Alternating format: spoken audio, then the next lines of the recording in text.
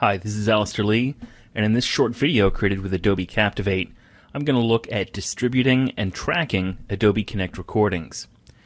Your recordings for all of your meetings are stored with your meeting, so to access a recording, simply go to the Meetings tab, select the persistent meeting that you've used to record, uh, and then there's a recordings link that's associated with that meeting. Now, since it's a persistent meeting, you'll notice that you can have multiple recordings all associated with that single meeting.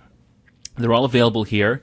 If you want to get a URL to distribute that recording, simply click on the appropriate recording and you'll see there is a URL.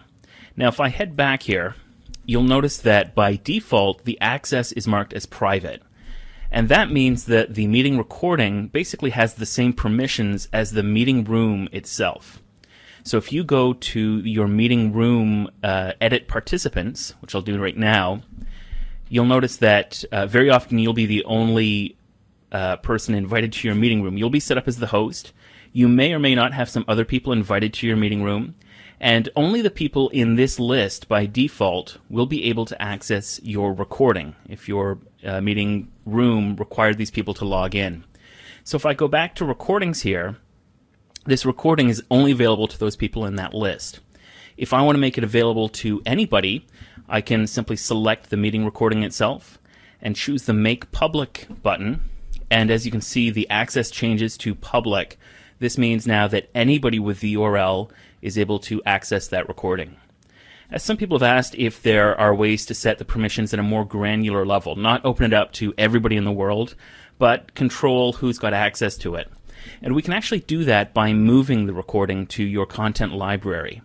To do that, I'm going to select the recording itself, and I'm going to choose this Move to Folder button. And by default, uh, Adobe Connect will ask to put this in your content library, just in the root of your content library. Uh, in the case of my content library, I've got a lot of content in here.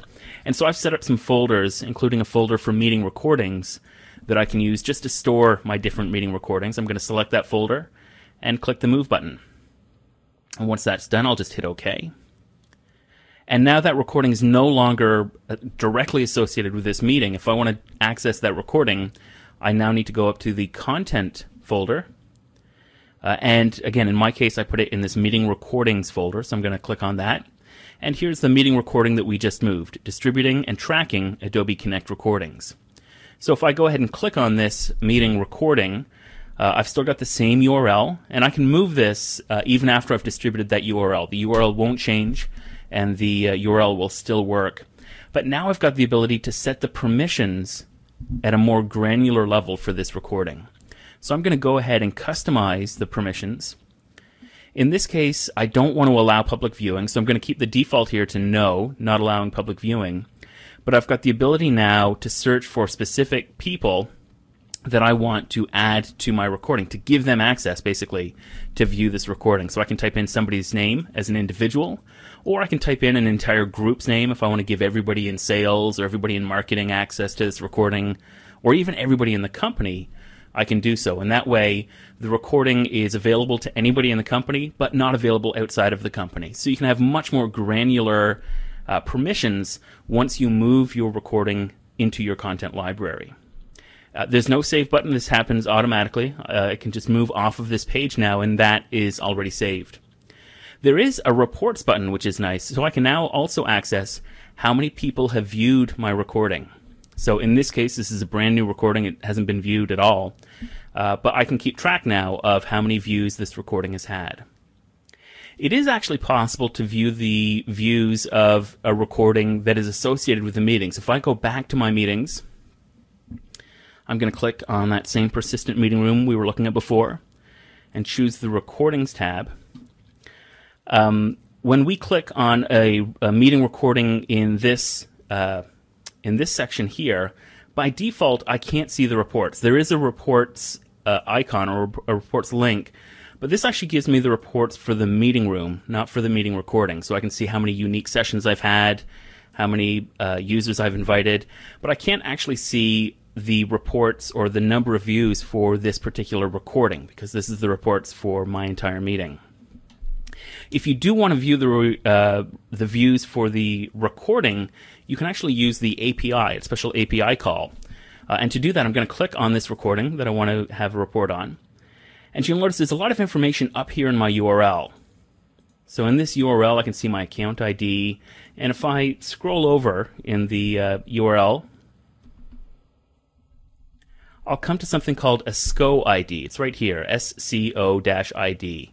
And I'm just going to copy that just from the uh, the first number six, uh, just to before the ampersand. I'm just going to copy that into my clipboard.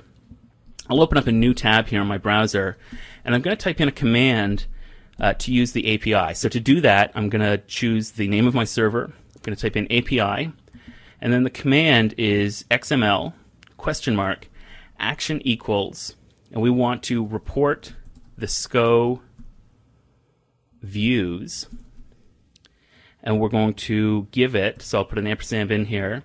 Uh, the SCO ID for uh, what we want to do the report on. I'll just say equals, and then we're going to paste that SCO ID and click enter. And using this API call, I can actually see that it's brought up the appropriate meeting recording, and it tells me the number of views for this particular recording.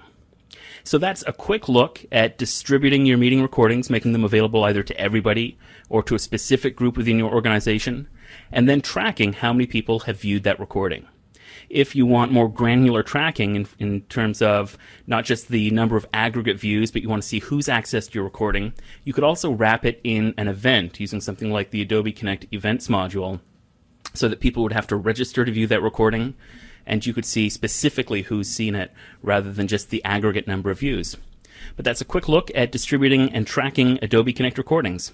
Thanks for your time.